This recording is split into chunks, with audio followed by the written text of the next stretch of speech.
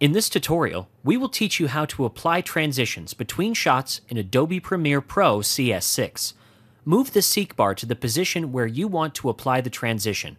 For example, here we place the seek bar right when the scene changes. Now split the shot by applying a cut using the razor tool. Once you're done, go to the Effects panel and expand the Video Transitions menu. Adobe Premiere Pro provides you with a number of video transitions and effects to choose from. This way you can add more value to your footage. Expand the option, drag the transition, and place it between the two clips. And that's it. Now you can hit the play button to see the results. You can also increase or decrease the time duration of the transition in order to give it a more dramatic look. Just double click on the transition in the timeline and go to the Effect Control window towards the left. Move to the Duration option to increase or decrease the transition timing as per your need you can see the changes you make to the effect in real time.